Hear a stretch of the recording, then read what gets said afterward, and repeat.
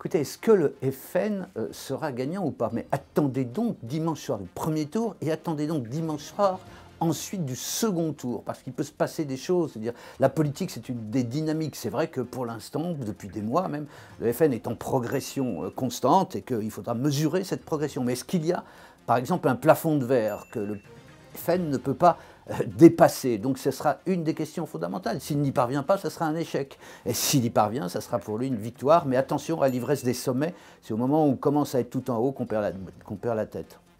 C'est compliqué pour le Front National parce que euh, il n'est pas, les gens ne votent pas pour lui pour des raisons de crédibilité de gestion. Ils votent pour lui pour le sujet majeur qu'est l'immigration. C'est pas parce que euh, soit euh, il gère bien, soit il gère mal. On pourra dire, vous voyez, ils sont pas très bons, etc. Mais fondamentalement, ça ne changera pas le sujet majeur qui est l'immigration. Donc euh, ça, peut effectivement donner des arguments à leurs adversaires s'ils sont mauvais.